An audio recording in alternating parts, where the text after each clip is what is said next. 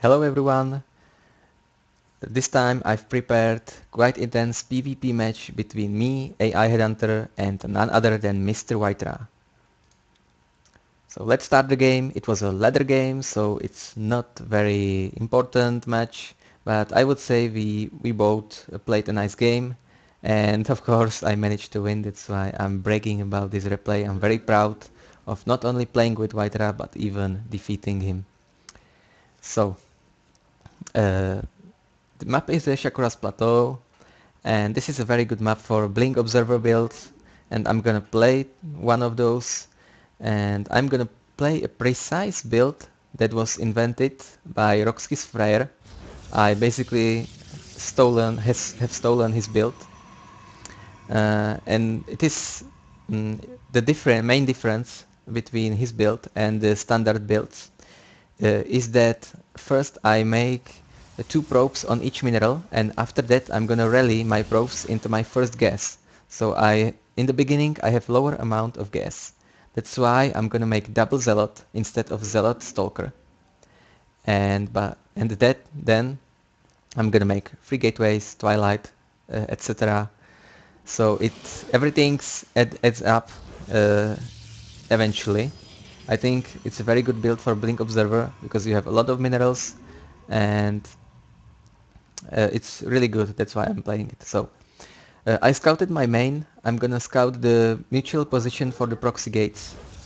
Uh, proxy gates can also be in my main. That's that's why I scouted there because even though this is a free player map, uh, you can still um, still send two scouting probes, check the mineral from the side, and then you will know if your opponent is there or not, and he won't see you so you can make proxy gates in his uh, in his main. Right now you can see I have two probes on each mineral. I'm not gonna scout uh, his position on the map and I'm rallying my probes into gas. He's trying to disrupt my mineral mining. He's not uh, he has not been successful until now. Uh, now my probes are a little bit uh, messed up so I have to manually uh, resend them to the correct mineral. I'm making my Zealot. Uh, there should be a chrono boost on my first Zealot.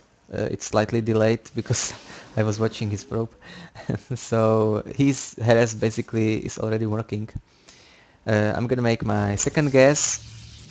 Uh, originally, Freyr uh, rallied up probes uh, to the first and also to the second gas.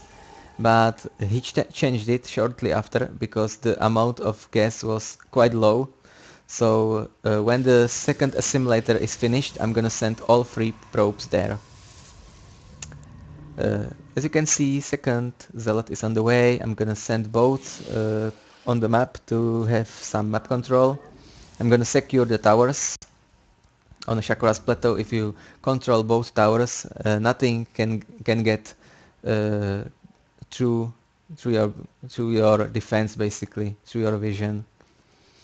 Uh, I'm also sending a probe because I want to make a fake aggression. With the Freyr build, you can you can't make a good aggression because you spend you're spending your chrono boost on other things than warp gate. So basically, you won't have warp gate uh, fast enough to make some free gate happen. But as you can see, I uh, used the shadow uh, on the Xel'Naga, so his stalker couldn't hit me, and I by bypassed him with my probe so I can easily uh, make pylon under his ramp and fake aggression. This is very good for me. Uh, so maybe I can even let the pylon finish and try to wipe some units there because uh, so far I took no damage and I have a good proxy pylon. But he has three stalkers, he uh, he will kill my zealot and damage my stalker. So I'm running away, I'm running away. Uh, my third gateway is a little bit delayed. That that's uh, that's a mistake. But right now I'm again using the shadow, so my two stalkers and one zealot could uh, could quite easily defend against his three stalkers, and he missed my crowd a little bit and lost uh, one stalker more that was necessary. So it was a good trade for me. And I'm in a good position to make some pressure, even though I'm researching Blink and making Robo. And I'm making a lot of probes, as you can see. Uh, well, he has more probes right now, but that's okay. because I'm making the pressure. Uh, what I'm doing right now is uh, selecting my zealots individually and targeting uh, each one of his stalkers. Uh, that means he has to uh, micro each stalker individually against the zealots, which is impossible. Logically, it's impossible. So he lost already one stalker in his main.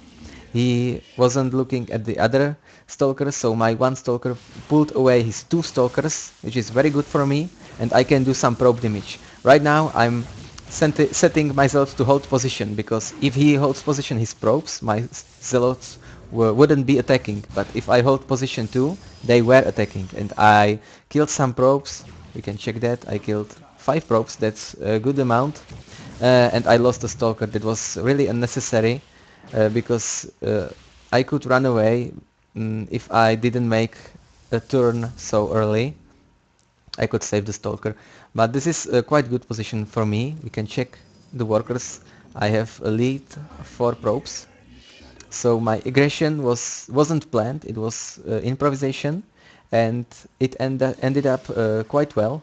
The supplies are even, but I have all the tech I need. I have blink. I have even immortal if he blinks into my main main unexpectedly, uh, so I can defend. And I'm feeling pretty good. And he did. He blinked in my bane. I didn't expect, and he targeted one stalker. I didn't blink it in him in time, but I blinked my other stalker. So I lost only one stalker, killed one stalker, and killed an observer. So it ended up uh, very good for me again. I'm preparing for a blinking in his bane because I saw uh, he ran away in the middle of the map. That means uh, he he will be out of position if I blink in his main, and I uh, I will kill some probes, that's guaranteed. So I need to do this as soon as possible and I even be able to catch another observer. That's really great because Blink against Blink in PvP is uh, about sniping observers. And I made some nice probe kills. I tried to kill a pylon also, but he already blinked in his main. I have to run away. No losses. This was a very successful move from me. But I scouted, uh, he already has Nexus. So I have to punish him some more because he's trying to get an economical advantage. So I have to keep the pressure on and do some additional damage. I'm sending all of my army, uh, you know, near him. I'm gonna pick one pylon first, and he blinked down. This wasn't a good move from him because his blink is, his blink is on cooldown, I can blink my st stalker, save him, and I killed two of his stalkers. So that was really good for me, and I feel really comfortable. Even though I'm making an, an expansion, I can I can make a even bigger attack than just blinking in his main and do some harassment. So I'm gonna blink in his main once again to pull the army to his main from the expansion. And nothing is there so I'm gonna finish the pylon and kill some probes. Right now I'm deciding if I blink to the no man's land or to the center of the map and I blink in the center of the map it will cost me one stalker more but I can uh, go with the rest of my army to his expansion and force field his ramp. I have sentry that has 200 of mana. But he blinked down and I wasn't looking kill the sentry so I put one more force field. This will get me another 15 seconds. And I secure a, quite a good position uh, concave under his ramp. And that's the GG oh, we already seeing that my supply is twice as high. And this move won me the game. So thanks for watching Uh, you can subscribe if you like this and hopefully see you next time